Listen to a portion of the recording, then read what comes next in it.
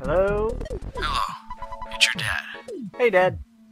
Work to exhaustion when you're young. Have you ever heard of a weird saying like this?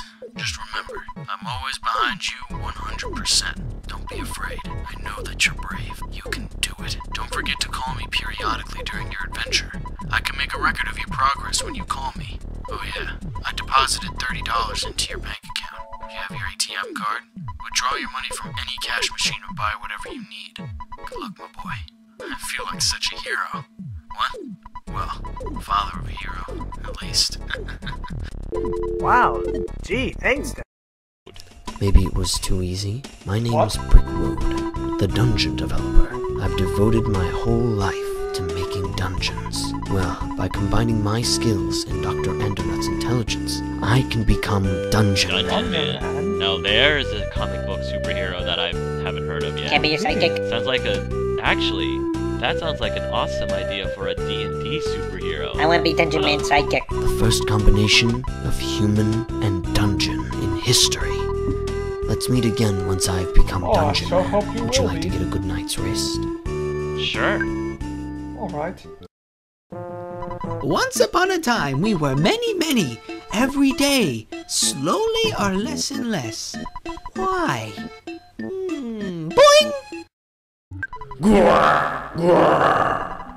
You finally made it. This department store is going to be your grave. You will be gone, and you'll be burning in. Well, you'll go to heaven. You don't want to waste your time, Lucius. Would you like me to obliterate this nuisance for you? No, he is not of interest.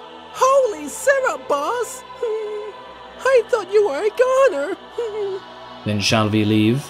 The others are waiting. No! Not that! My face! Ah! Master Egg, are you okay? Yes! Yes, I'm fine! You were having that dream again, weren't you? Oh, I swear I'm going to get my revenge! I'm going to make her pay! Hey, boss! Alright, listen. The boss wants his stuff by noon. Fail to comply, we're gonna have to uh, roughen things up around here. You don't want that, don't you? Yo, Adriano, we got a problem here. Can't you see I'm busy here? This better be important. Look at this. I see. Alright. We need to go see the boss. Let's blow this joint. Oh, and I haven't forgotten about you. When I come back, you better have the goods or else you're dead. You hear me? Dead! Benito and Adriano dash their way to see Tony, their boss. They enter a building which above had a sign that reads, The Gangsters Hideout. Inside, it was packed with some old and new Sausage Clan members. Some were playing cards, others playing pool and darts. They come up to a door where two Sausage Clan members were guarding, both female. You got beat up by a girl ghost?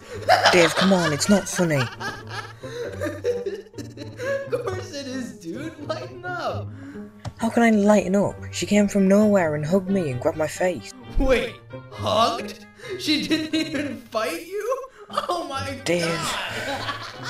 Please stop. You are so whipped, dude. Seriously, dude, you gotta learn how to defend yourself. I know I wouldn't let myself get jumped by a girl. Ah!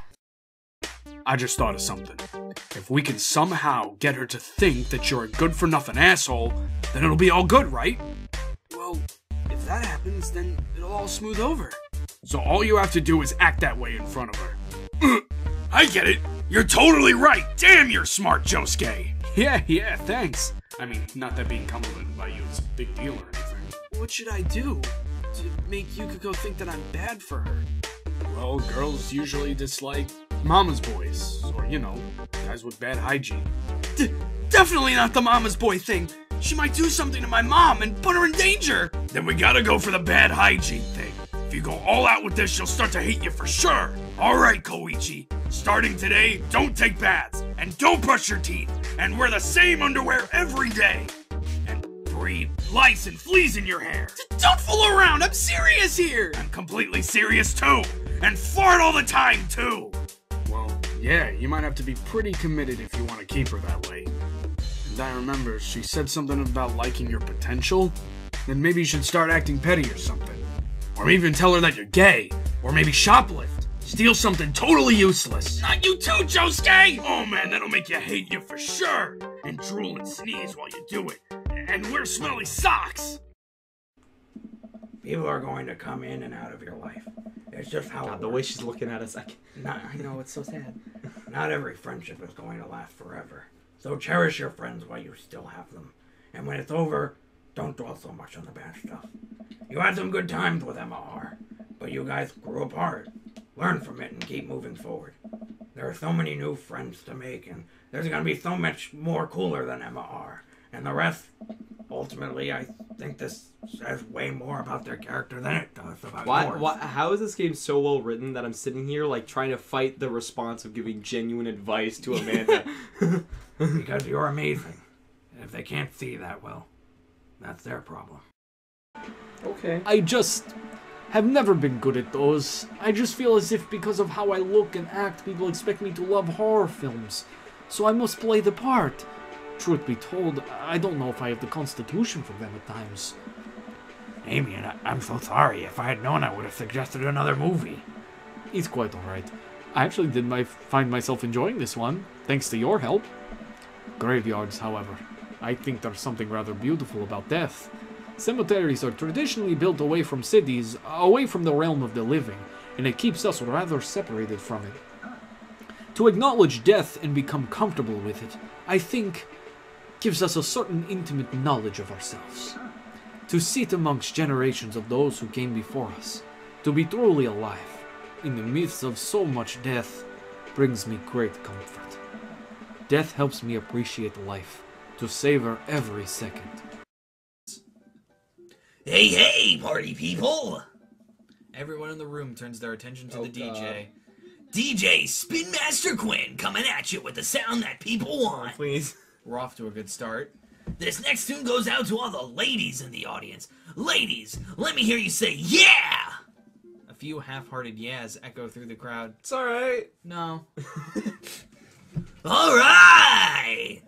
He sighs again. I, um, man, it's been a heavy couple days. Oh, no, stop.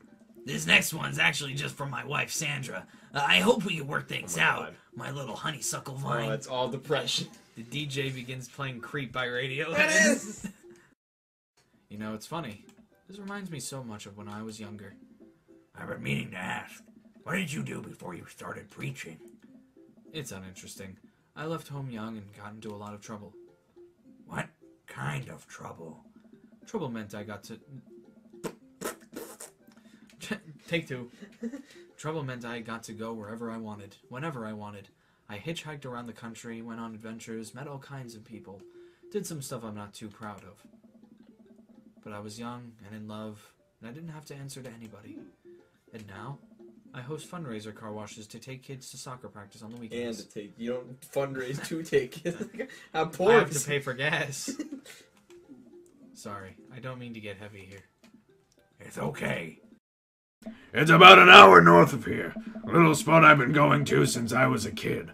My dad, my dad used to take me there all the time. I don't think anybody else knows about it. I brought everything we need so that we can catch some trout, have a nice little fire, and enjoy the nature.